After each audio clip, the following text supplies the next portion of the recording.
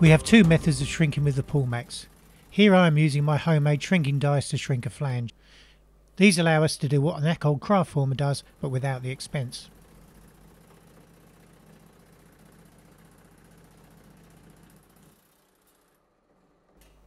More shrinking can be achieved with bore passes or by increasing the pressure.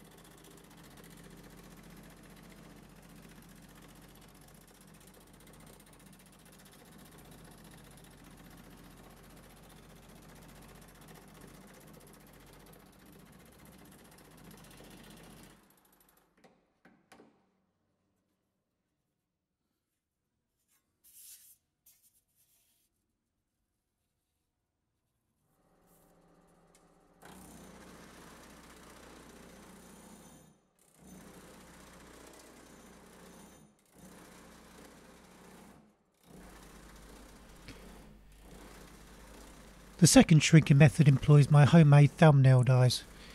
These will shrink a lot of metal quickly and they leave less surface marking.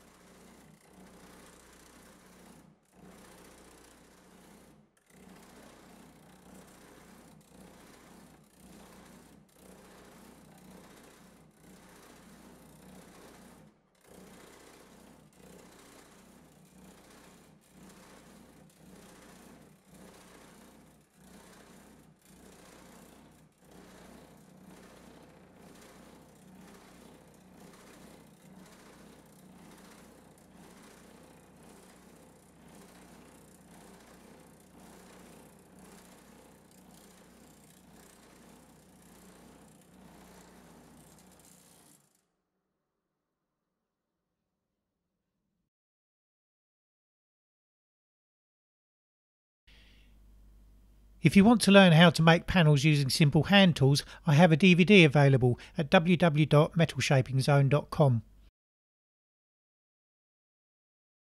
Or visit classicmetalshaping.co.uk for quality panel work.